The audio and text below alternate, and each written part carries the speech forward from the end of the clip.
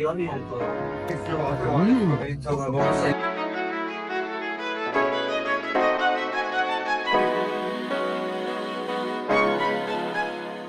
Hi guys, welcome back to the channel. Today, Puria and I are taking you on a whirlwind tour of Vienna focusing on the top 10 things to do when visiting Vienna for the first time. And we have some insider tips for you, so make sure to watch till the end of the video and buckle up because Vienna is gonna blow you away.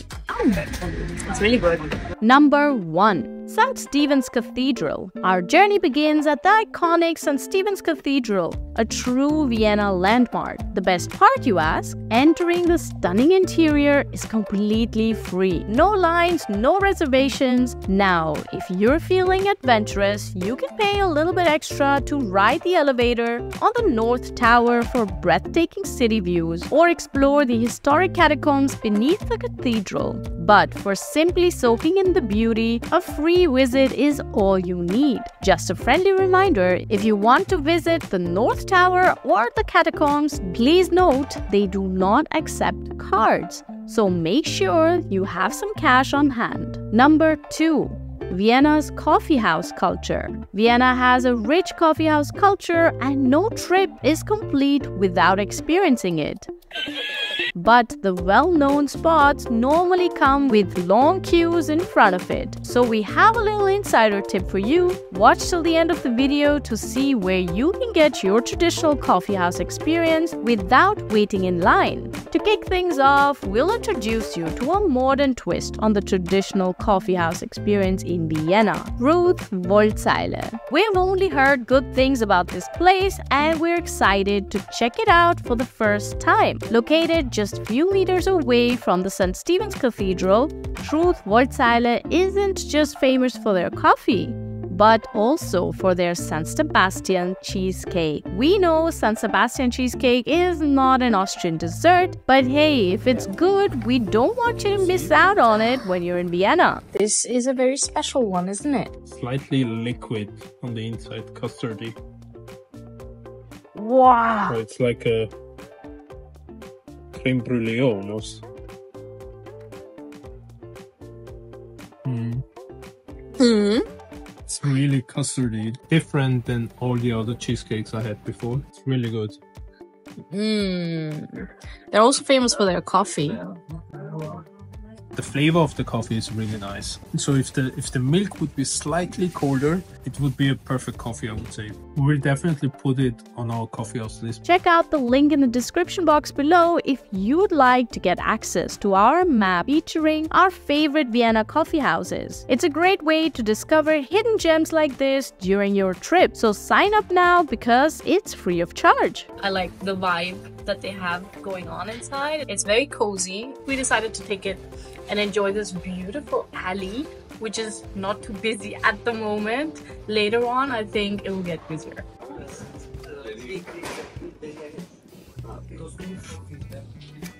Apparently, that's how you eat a San Sebastian cheesecake. I didn't know that.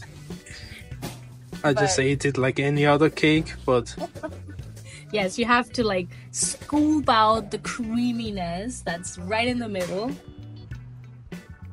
Mm. Oh.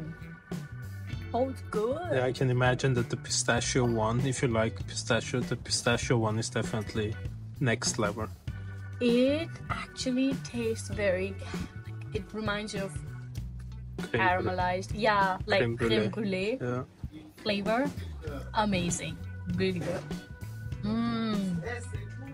If you're still watching this video, you're definitely interested in more content like this. So hit the like button and subscribe to our channel. Feeling energized after that coffee and cake? Time to dive into Vienna's rich history. Number 3. Hofburg, the official presidential palace of Austria. We are sitting here right in front of the famous Hofburg. It's pretty grand. You have a museum inside. You also have an event location inside. I have to say also the structure from outside is super unique.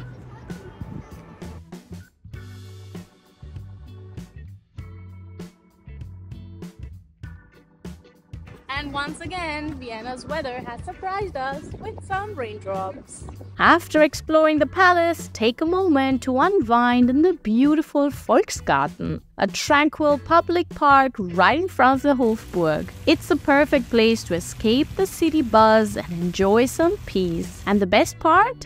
Entry to Volksgarten is completely free. Number 4. The Parliament. The Parliament building is a stunning piece of architecture, a testament to Greek architectural influence in Vienna. Recently restored, this neoclassical masterpiece is a must see for any visitor. If you want to learn more about its fascinating history, we would highly encourage you to book one of their guided tours inside. Number 5. Vienna City Hall, Rathaus. Right next to the Parliament sits the Vienna City Hall, another architectural gem. This grand building is not just a beautiful sight, but also a popular location for outdoor events throughout the year. In summer, you have the Vienna Film Festival. In winter, you have the Grand Vienna Christmas Market right here. And now they are also doing some preparation for the Vienna City Marathon which is taking place on April 21st. From here, we're taking the tram number one to Karlsplatz again, and you'll see the State Opera. Number 6. Exploring Vienna's Ring Boulevard with tramline number 1. Ready to see more of Vienna's amazing buildings? Let's hop on tram number 1 and head to the Vienna State Opera. This tram takes you around the famous Ring Boulevard, which circles the city center. It's a great and cheap way to see all the must see buildings we've talked about so far without spending a fortune on taxis or sightseeing buses. Just remember to have a valid public transportation ticket or consider getting the Vienna City Card, which includes public transport access. You'll find a link to the Vienna City Card in the description box below. Number 7. The Opera. Our tram ride takes us right to the Vienna State Opera. This incredible building isn't just beautiful on the outside. If you want to see the Opera House from the inside, definitely make sure to book one of their guided tours linked in the description box below. Number 8. Naschmarkt. Just a short walk from Vienna State Opera, you'll find the amazing Naschmarkt. This busy market is a fun place for your senses. It's full of fresh fruits and vegetables, spices from all around the world, and delicious food. It's definitely a vibe, therefore, also a very popular tourist destination.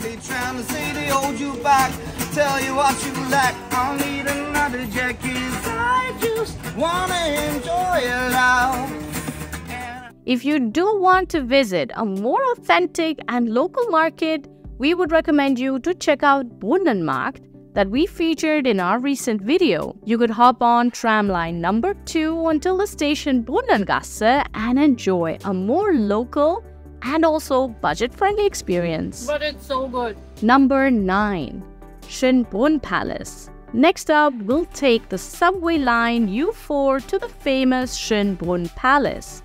This giant palace is a UNESCO World Heritage, which is a must visit in Vienna. If you want to visit the palace, you need to buy a ticket, which we absolutely recommend you to do if you want to experience the true essence of the Baroque style. However, we would highly encourage you not to miss out on exploring the stunning gardens which are located behind the palace.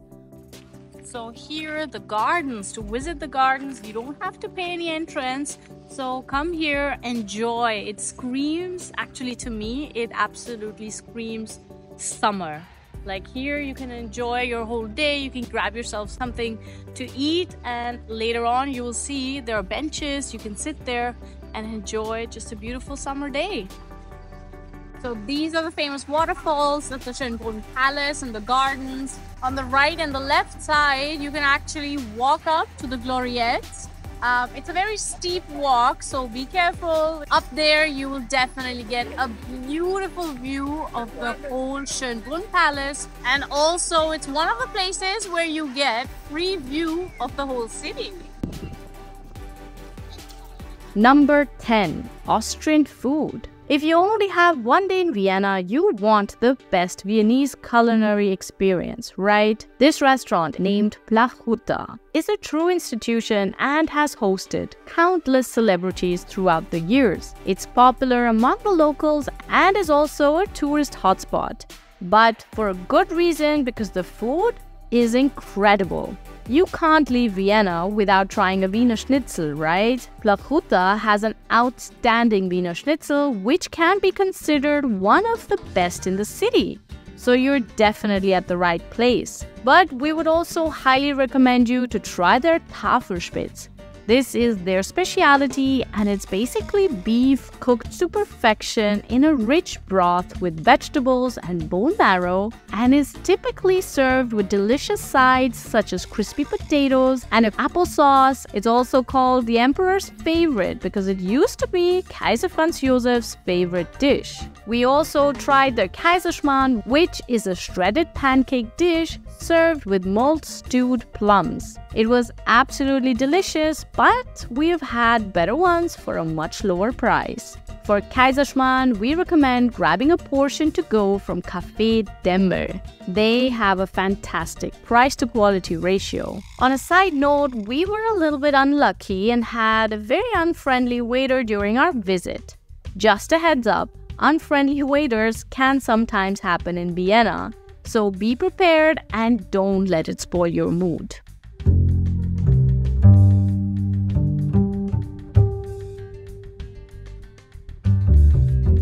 Now for the hidden gem we promised earlier on. So guys, coffee house culture is big in Vienna, but if you've seen one of our videos, you know we're not such big fans of these traditional, overly hyped coffee houses. If you want to skip the queue, not wait in line, we have an alternative for you. If you still want to experience this traditional feel in a coffee house, let us show you.